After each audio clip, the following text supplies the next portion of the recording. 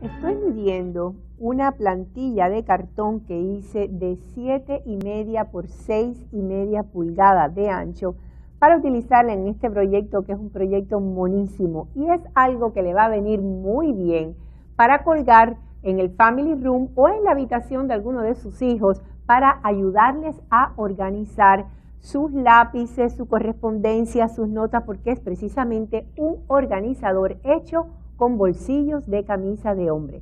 Entonces lo primero que usted va a hacer es empezar a recolectar camisas viejas de su esposo, de sus hijos, o a lo mejor se va a un rastro y la consigue por dos o tres pesos baratísima, pero lo principal es que como estas que tenemos aquí sean de diferentes eh, estampados. Lo puede ser un estampado de cuadritos, azules, amarillos, de raya, en fin, porque eso es lo que le va a dar alegría y contraste a este proyecto.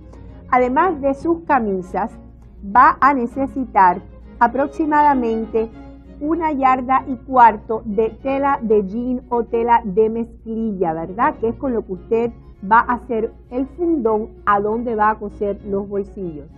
Va a necesitar también un palito como este para colgarlos y vamos a poner esto por aquí. Entonces va a cortarle los puños a las camisas y a cortarle los bolsillos, que es un poquito lo más delicado y precisamente para eso es que yo estaba haciendo la plantilla. Así que déjenme decirle lo que necesitamos hacer para que esos bolsillos queden perfectos. Usted se va a hacer una plantilla más ancha que todos los bolsillos que tenga de todas las camisas que haya recolectado, de manera que siempre le quede un borde, ¿verdad? Y va a poner esto justamente arriba de la camisa. Voy a sacar mi fundón de acá abajo porque ya estaba de lo más embullado y va a empezar por ahí a cortar y a lo mejor cortaba el fundón. Bueno, vamos a poner la plantilla. Y después que usted corte su plantilla, quedándole el bolsillo lo más en el centro posible, corta todas iguales.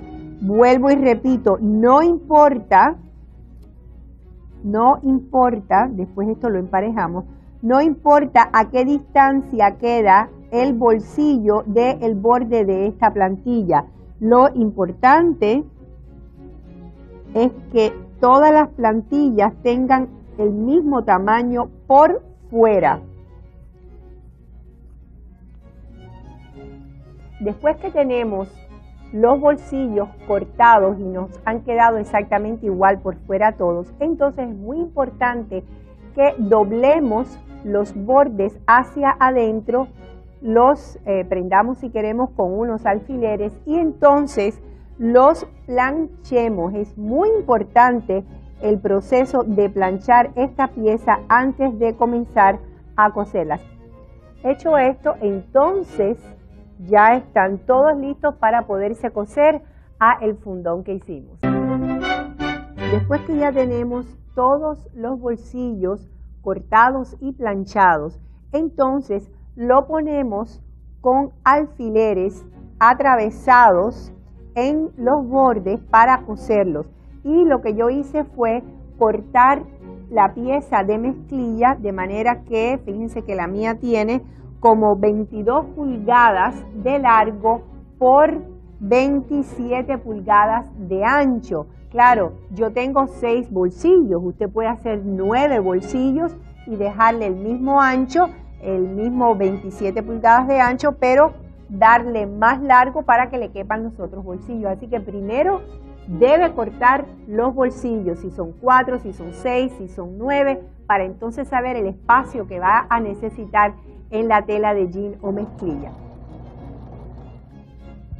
Después de tener cerrado el fundón por la parte de abajo y por los costados, le dejamos un exceso en la parte de arriba para poder doblarlo hacia adentro como una especie de ruedo y como ven ya yo lo planché bien. Acuérdense que la plancha es muy importante cuando uno va cosiendo, ¿verdad?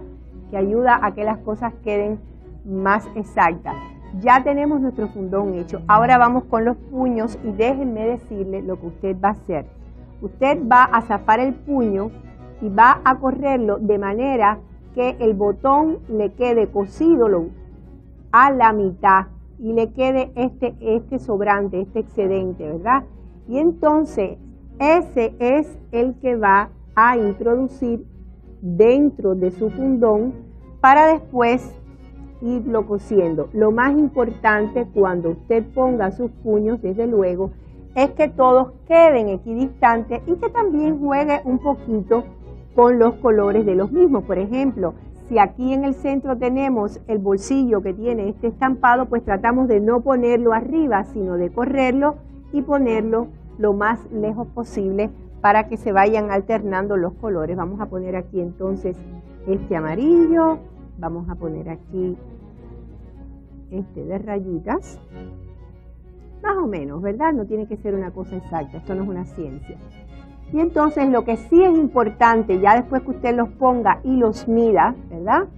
Es que todos queden del mismo largo para cuando usted le vaya a atravesar el palo de madera, todos queden iguales. Aquí yo tengo que los míos tienen 4 pulgadas y un cuarto, pues todos deben medir 4 pulgadas y un cuarto. Así que ya después que están medidos simplemente los cogemos con alfileres y los vamos a poner ya fijos al fundón.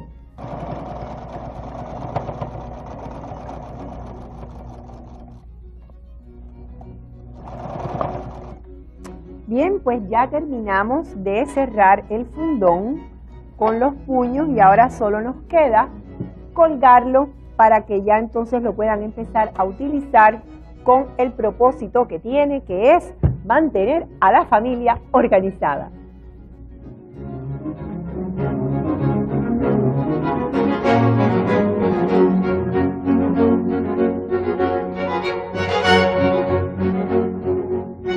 Y díganme que este organizador hecho con bolsillos de camisa no es una verdadera monería. Ahora sí que no hay excusa para no estar organizado.